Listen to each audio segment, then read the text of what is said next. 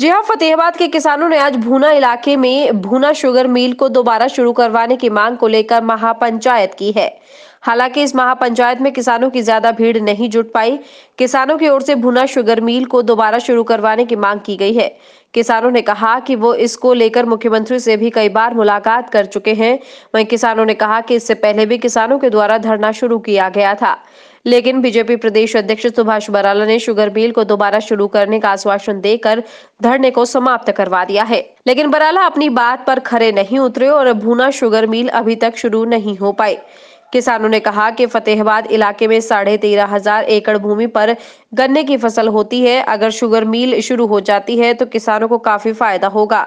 किसानों ने कहा कि इससे पहले प्राइवेट फर्म को शुगर मिल ठेके पर दी गई थी, लेकिन उस फर्म से शुगर मिल नहीं चलाई गई। किसानों ने कहा कि शुगर मिल के सारे उपकरण कबाड़ में तब्दील हो चुके हैं। ब्यूरो रिपोर्ट एवन हरियाणा।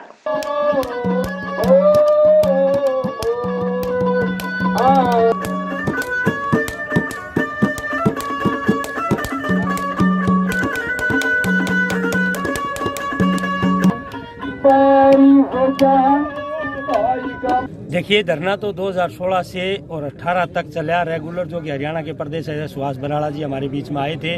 वो किसानों को ये आश्वासन दे के खड़ा करके गए कि ये शुगर मिल मैं चलाऊँगा, गुना शुगर मिल मेरी कर्म भूमि है। उन्होंने अभी तक कोई किसी तरीके का कोई फैसला नहीं लिया इसमें। सरकार इसमें नाकाम रही। आप क्या मांगे हमारी मांग यही है हमारे इलाके की भुना शुगर मिल चले रही इस इलाके की किसान शेयर होल्डर मिल है और इस इलाके की बहुत दिनों से लंबे समय से मांग है। तत्कालीन सरकार 2006 में निजीकरण करके चली गई। उसके बाद किसान बड़ा भारी परेशान है और गन्ना बर्बाद हो रहा है किसान का। हर साल बर्बाद हो जाता है। हरियाणा की मिलें तमाम वो दम तोड़ जाती हैं और किसान का गन्ना बर्बाद हो जाता है। इस क्षेत्र में कितना गन्ना मानते हैं आज साढ़े तेरह हज़ार एकड़ में गन्ना मेरी फ़सल मेरा ब्यौरा जो की फतेहाबाद ज़िले की रिपोर्ट है ये मैं नहीं कह रहा ये डीसी साहब की रिपोर्ट है। अगर सरकार नहीं मांगे मानती तो आप क्या लेंगे? क्या स्टेप लेंगे? हम स्टेप क्या? सरकार को पहले बात तो इसको मनवाने के लिए हमने रोड जाम करना पड़े या कुछ भी करना चले वो एक अलग बात है।